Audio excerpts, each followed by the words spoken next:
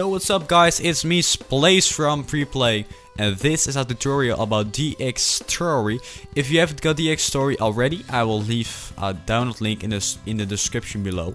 But remember, it is not free, you have to buy it. You could download a trial on their website, but you will have um, like Dxtory in the top of your window when you are recording.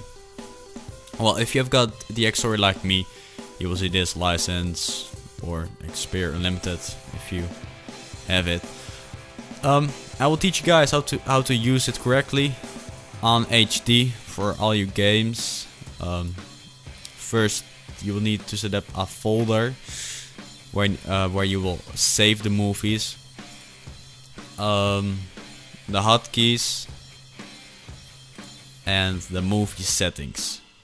Well, first of all, let's go to uh, the folder settings. Click on add folder. Click on computer.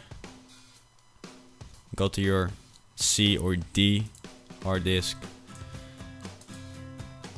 This is my folder, films for YouTube or movies for YouTube.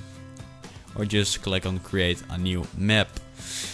Uh, well, you will see uh, 0 MB uh, slash second. So just click on this image and click on run. You'll see it's 48 megabytes per second. Normally it is like 60 MB per second. I'm now also recording, so I would do it like 59 most of the time. 55. That's not bad. Um, now you've got your folder to save your movies. Go to your hotkeys and you can change it. I will leave it on F12. I'm not using screenshots, so let's delete that hotkey. Now go to your movie settings. As codecs, you will uh, need to use the Dxtory video codecs. Uh, don't use anything else. Uh, frame rate. I'm using 27 frames per second. Uh, if your hard disk is fast enough, you can do 30 frames per second. Uh, but my hard disk isn't fast enough, so let's do 27 frames per second.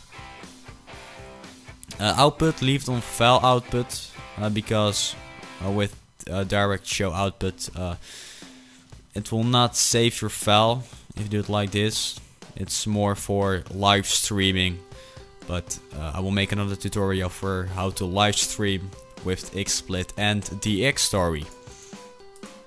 Well file format leaves on AVI. I never use RAWCAP um, well the scaling that's a very important thing. Uh, click on size and do it on HD 1280 by 720 or you can do this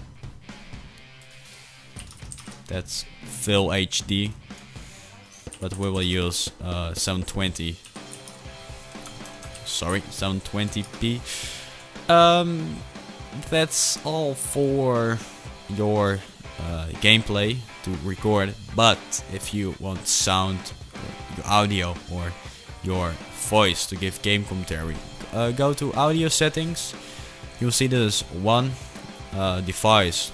Now that's my audio, speakers, Realtek high definition audio. But for my voice, click on add audio stream. The maximum of audio streams is 8, so you can have 8 microphones or whatever. And this will be my um, yeah my microphone microphone, USB audio codec.